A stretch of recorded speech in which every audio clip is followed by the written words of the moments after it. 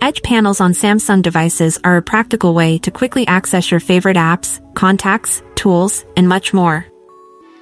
This is a very useful addition, and once you get used to it, you'll use it all the time. With One UI 6.1.1, you can easily customize Edge panel to suit your needs. Here's a quick and simple tutorial on how to do it. First, swipe the Edge handle. Then, open the settings by clicking on the gear icon. Now, let's start by selecting the desired apps. To customize the apps, press Edit below the list of apps. Remove unwanted apps by clicking the minus next to the app icon.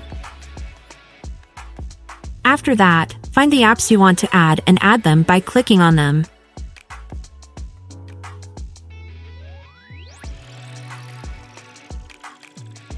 The new list of apps is ready. Now, return to the main screen.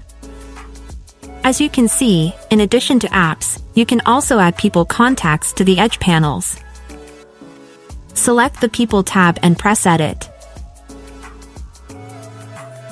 Choose the contacts you want to add, and then you'll have easier and quicker access to them. We return to the main screen again to add more features. I will add weather and tools. You can select according to your needs. And that's it. Exit the settings. Here's how my edge panels look in the end.